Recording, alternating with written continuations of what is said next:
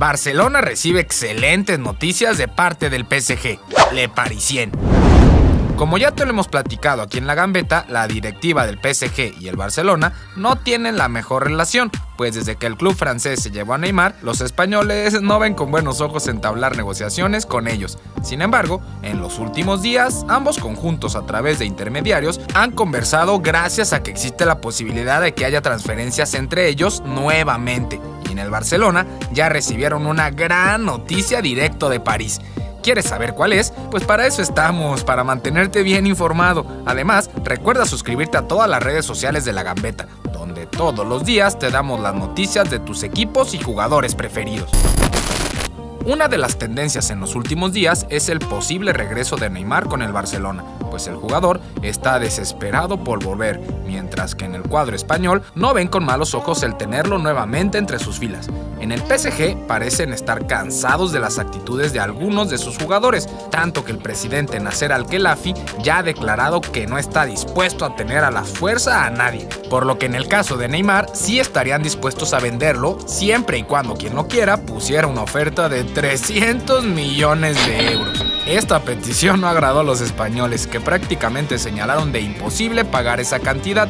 Sin embargo, el diario Le Parisien ha revelado que el PSG ha reconsiderado este factor y ahora, en vez de 300 millones de euros, aceptarían una oferta de 222, cantidad que ellos pagaron en su momento por el atacante brasileño. ¡Descuentazo! El medio francés reporta que los parisinos no están dispuestos a perder un solo euro invertido en Neymar, pero que se conformarían con tener de vuelta su inversión.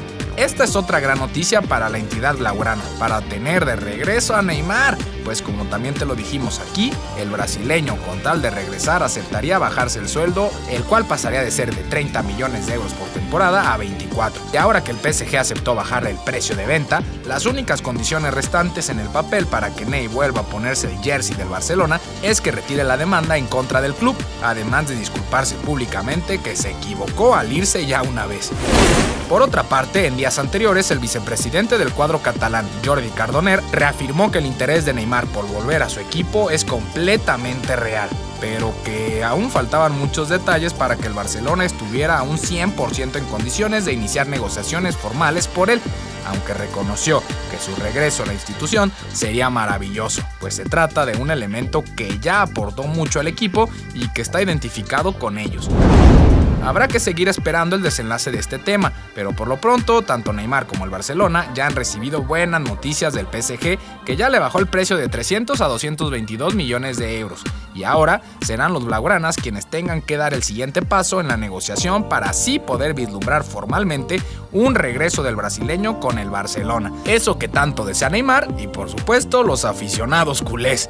Yo soy Paco Meraz y nos vemos hasta la próxima. ¿Y tú? ¿Crees que el Barcelona tiene que ir con todo por Neymar ahora que el PSG le bajó el precio de venta?